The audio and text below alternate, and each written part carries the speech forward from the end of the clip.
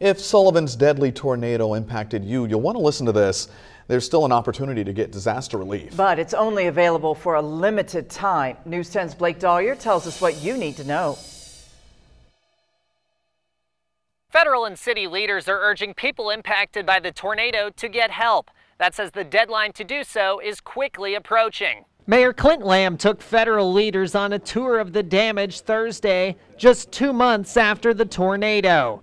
Lamb says while many government leaders are trying to help people heal, the recovery process has been hard. There's no way that the federal government, state government, the mayor's office, the county can make folks whole.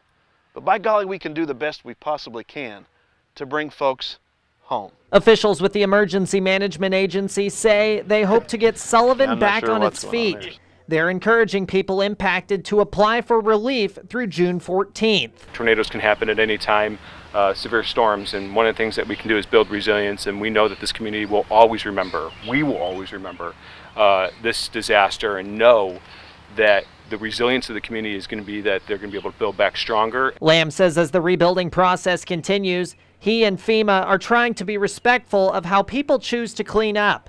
But he says disaster relief is a good option for some.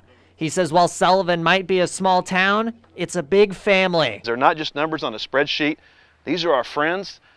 These are the people that we laugh with, that we've mourned with, and now we're going to rebuild back better together with. For more information on where to get help, go to our website. That's WTHITV.com. Reporting in Sullivan, Blake Dahlier, News 10. The United States Small Business Administration is also offering disaster assistance. The administration has low interest loans available to help owners rebuild. Those can go to private nonprofits and businesses of all sizes. The deadline to apply for those loans is also June 14th.